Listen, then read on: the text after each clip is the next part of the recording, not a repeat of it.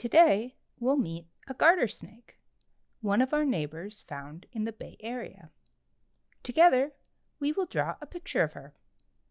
When you draw a picture of something, you must observe it closely.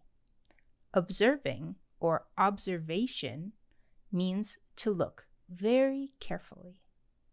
Scientists are always observing and trying to learn from their observations.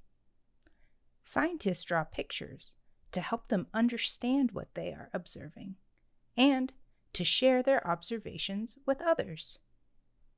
Today, we will observe and draw this beautiful garter snake. You can pause the video whenever you need more time. For today's activity, you'll need a piece of paper, a pencil, eraser, and something to color with. Markers, colored pencils, and crayons all work great. Now, we're going to draw this beautiful garter snake together. First, we'll carefully observe the snake. I observe that the head is shaped a little bit like a triangle. First, we'll just draw the basic shape of the snake, and then we'll add in the details. I'll start with drawing a triangle.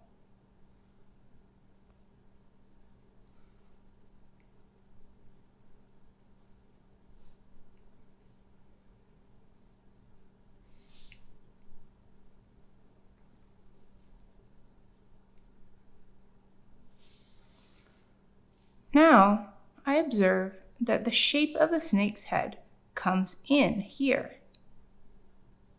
This is near the snake's neck. Now, I'll close the shape.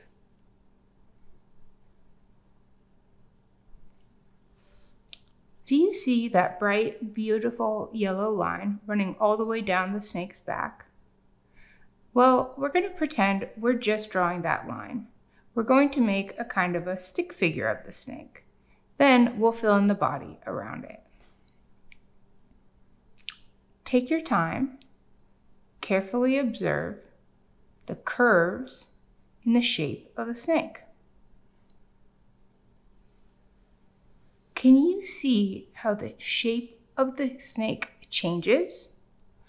Right around here, the shape becomes much narrower or thinner. I'm going to pick a little mark right here on my drawing. This is actually where the snake's body meets its tail. Snakes actually have short tails and long bodies. You can tell where the body meets the tail because the shape gets much thinner. Now we'll go back and draw the snake's shape around the line that we drew. Remember, the shape changes here where the body meets the tail.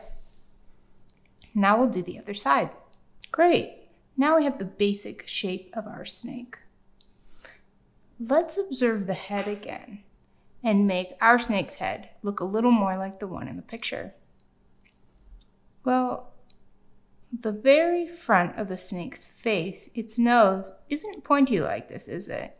It's actually pretty flat with a little curve. You can use your eraser to remove the tip of the triangle that we drew.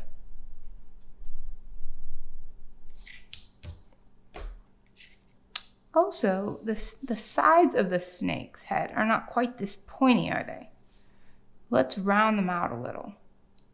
You can erase or you can just go right over them like I'm doing. And what about right here? What do we observe on the snake's head? That's right, the eyes. A snake's eyes come out a little bit in the shape of the head. And the face comes up a little bit right over the eye. but we're not actually drawing eyelids. Go ahead and blink your eyes. Snakes can't do that. Snakes have no eyelids at all. Their eyes are always open.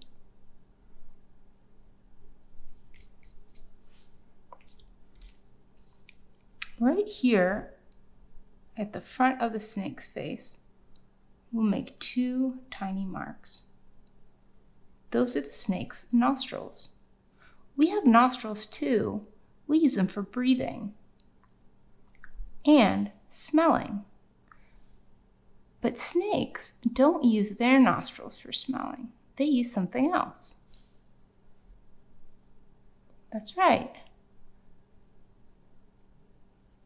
They use their tongue. The shape of the snake's tongue helps them to know where the thing is that they're smelling. Is it to the snake's right or the snake's left? The fork shape of the tongue helps them know that. Now we'll draw a pupil or a round dark mark in each of the snake's eyes. Looking good. Now, let's observe the color pattern of our snake. That refers to the snake's color and the pattern of the colors. So the first thing that I observe is this bright yellow line going all the way down the snake's body and tail. It starts just at the base of the head. Go ahead and draw that in now.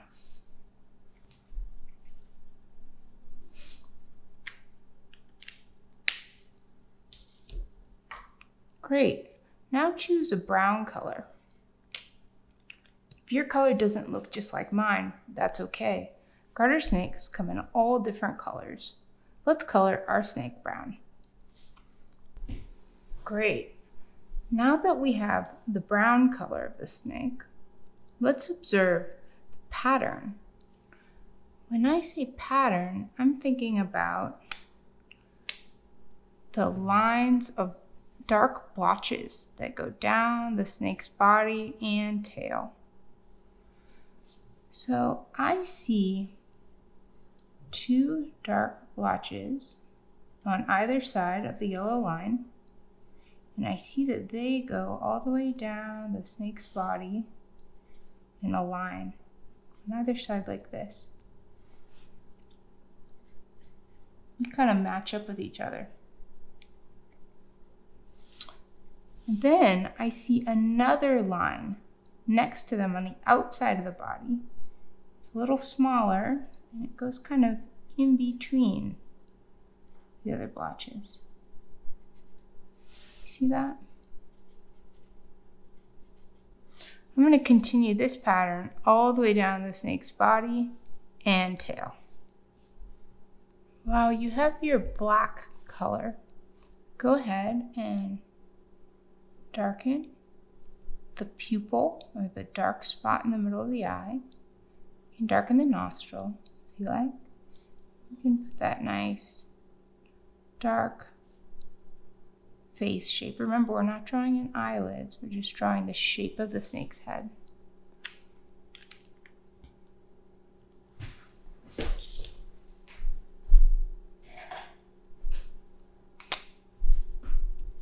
We'll also color the snake's tongue.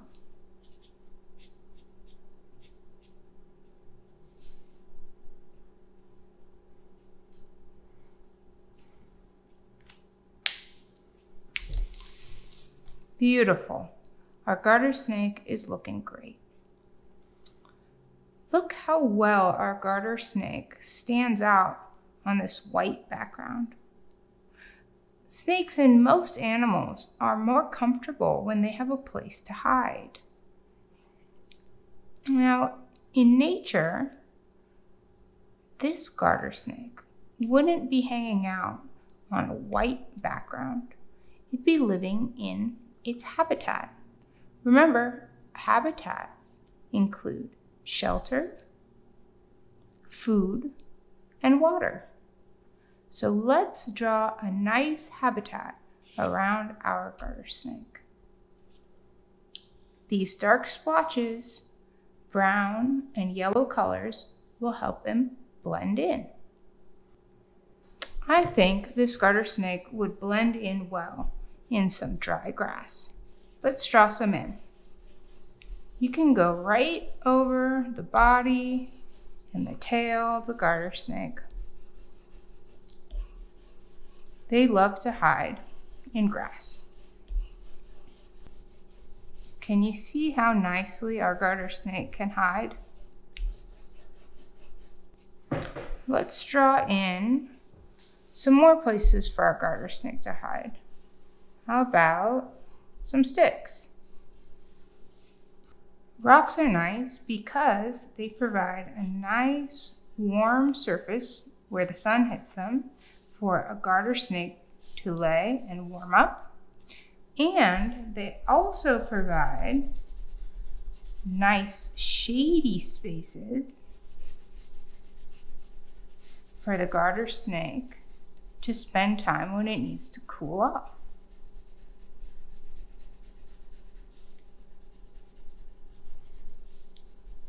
We're giving our garter snake plenty of places to hide in this environment, plenty of shelter.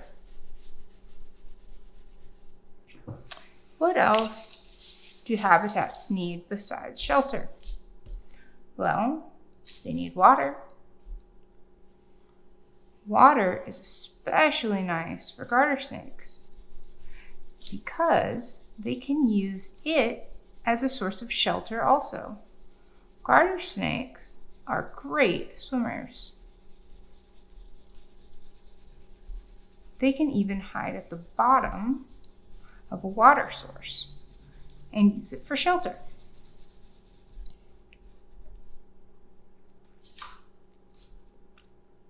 What about food?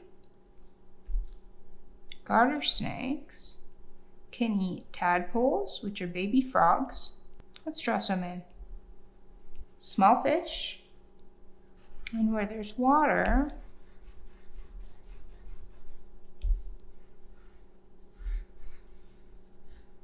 there are plants. Non plants often live snails and slugs.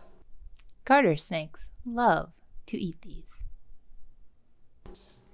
Now we have a garter snake in its habitat. It has grass, rocks, and sticks to hide for its shelter. Also, nice shady spaces. It's got water and food to eat. Looks great.